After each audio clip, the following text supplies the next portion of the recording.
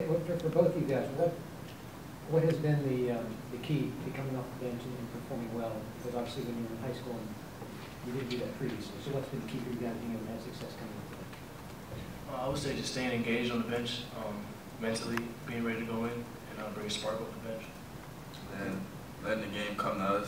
Uh, just be ready to play and don't force anything, but let it come to us and play within the game. Is that hard? Is it easy to, tempting that you- as soon as you get in, want to do something quick as opposed to maybe running up and down the court a couple times, getting warmed up? Um, no, just doing whatever to uh, whatever is the team's best interest. You know, uh, trying to win. And we all trying to win, so not coming in being aggressive, but just coming in and feeding into the team. Curtis, for you, what, you, you played a lot of two in AAU, you played a lot of one, uh, for Huntington Prep. Sort of, what, what's been the bigger focus, or has it been a combination of both since you get to college? Um, been a combination of both, mostly the one, uh, working on helping lead the team, things like that. What, what's enabled you to keep your shot where it is? I mean, obviously, you started off a big one against Kansas, you had a couple at Maryland. Uh, it, it seems like, you know, you're ready to go for, as a shooter when you, when you hit the game. And uh, how have you been working on the shot to make it game ready? Um, just getting up more reps, uh, outside of practice, outside of things like that, just staying in the gym, keeping it toned up, things like that. So when I get in the game, I'm ready to go. C- Curtis, when you, when you are in there running the play a little bit, what does Coach Crean kind of expect out of you? What does he talk to you about, just in terms of you being in this team? Um, getting the team into the plays, uh, talking, being aggressive, being sound on defense, things like that. Devonte, who, who are guys you've learned the most from uh, so far as a college freshman? Who have I learned the most from? Yeah. Um, I mean, I learned a little bit from everybody uh, when it comes to learning from the older guys, but I'd probably say J-Mo.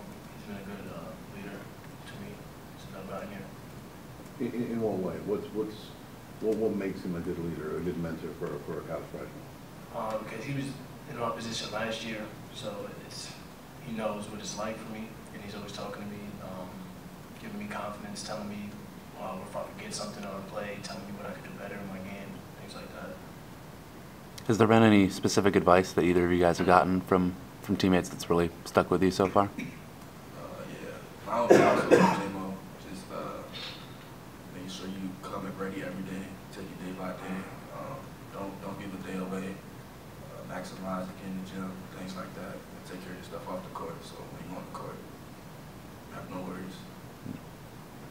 Devonte, you talk to Danny much, or Uh, here and there. you talk basketball, talk life? I mean, does he watch, Um, watch your game and say, hey, this was good, don't do this, or what, what's the interaction like? Um, we, we talk here and there. He he watches a couple of the games. Most of the time, he has games when I have games, so Sure. he doesn't catch all of them. But um, gives me advice when he can. Do you give him advice? Do you watch his game and give him advice? Nah, don't forgot. Would he listen, would he listen if you did? Uh, maybe. Nah, probably not. You know, for both you guys, there's a a perceived uh, uptick, uptick in uh, um, intensity when you get to the Big Ten play. Have you guys noticed it, how, and if you have, how, how much more maybe intense is the Big Ten than some of the the non-conference games? Well, everybody comes out ready to play um, right from the right from the start of the game. But um, everybody knows everybody when it comes to teams and scouting, so they're ready for what we have coming for them. For- For both of you guys, what part of your game did you feel like when you got into Big Ten play, you went, oh, okay, I gotta get better at fill in the blank? Taking care of the ball. For me, it was talking, uh, getting people in the right positions, getting myself in the right position, talking, having the team connected, stuff like that.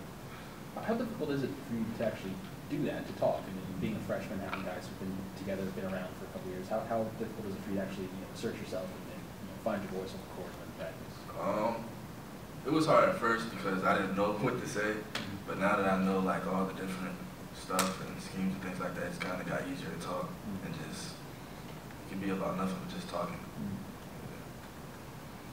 different things, meaning what, like knowing the calls or just? Yeah, the plays, defensive schemes, different things like that. Gotcha.